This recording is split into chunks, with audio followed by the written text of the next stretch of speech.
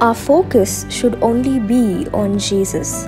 Greetings in the matchless name of our Lord and Savior Jesus Christ. Isaiah chapter 26, verse 3 says, You keep him in perfect peace, whose mind is stayed on you, because he trusts in you. When our focus is only on Jesus, nothing in this world can ever shake us. Nothing can ever try to destroy us or bring us down.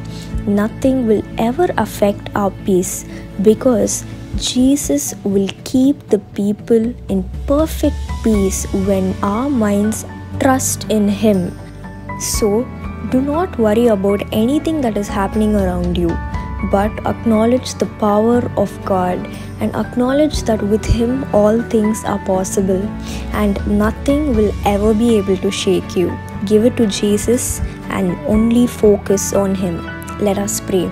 Loving Heavenly Father, thank you for this beautiful day. Lord Jesus, today we ask you to help us to focus only on you, Father.